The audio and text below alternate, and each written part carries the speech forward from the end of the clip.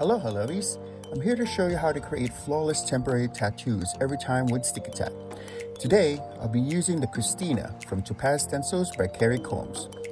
These are amazing intricately cut stencils with amazing detail.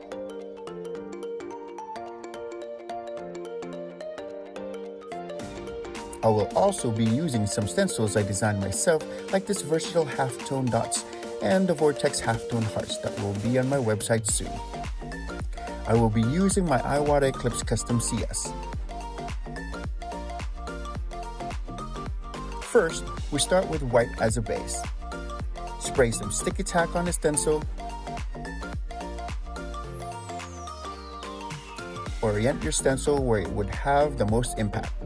Then you start with the white base, making sure to apply an even coat.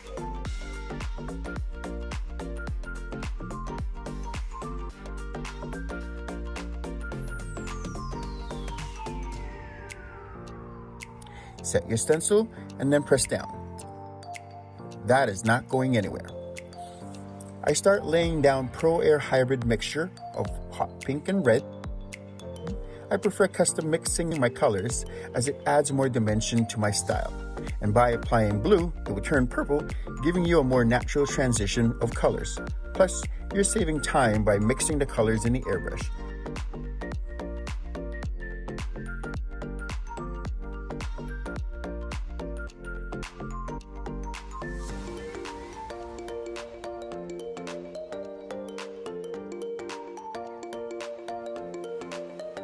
Adding yellow to the mix allows me to transition from blue to green. As the paint is being used from the cup, it will turn yellow.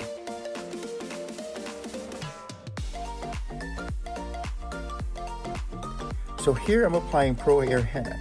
This color is great for creating shadows without muddying up the image compared to black. I spray lightly on the chin and on the bottom part of the lips to give it more dimension. Then the reveal. Voila! That looks good. Then I come back with PRO-AIIR Henna, push back the shadows on the jaw and the neck and a bit towards the background.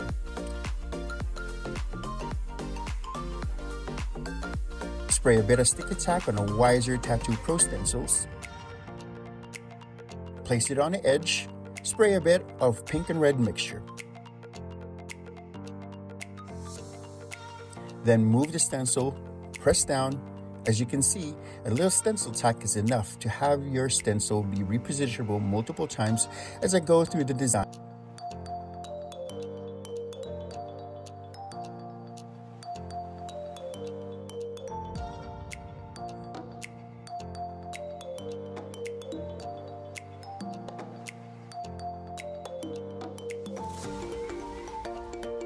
Even backtracking by adding glue. Next, I use my halftone dots to add an illustrator motif using the red and blue mixture already in my airbrush. I make sure to clean out my gun by flushing out the existing color into my clean caps, which is also available on my website.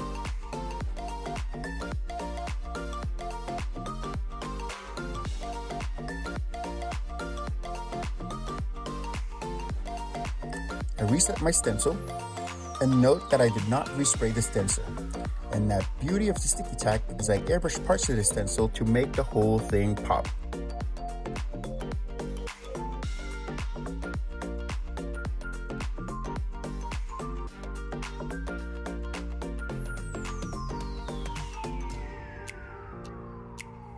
Here I spray part of my Vortex halftone heart stencil.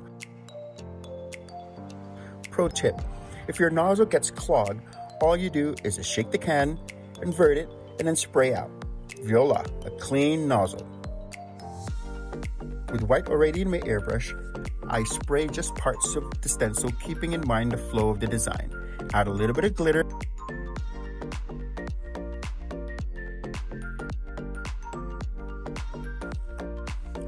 Now you have a flawless temporary tattoo design.